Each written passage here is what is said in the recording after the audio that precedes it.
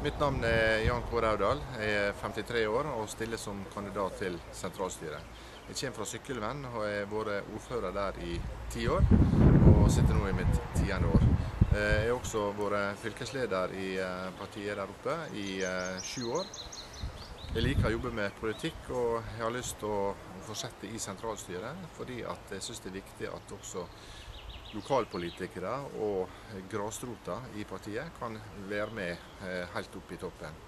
Eh, jeg syns det har vært veldig spennende å sitte og jobbe med saker fra sentralstyret og til de kommer videre utover i partiet. Og det kan jeg altså da tenke meg å fortsette med. Jeg syns det er veldig spennende å jobbe både sentralt og lokalt.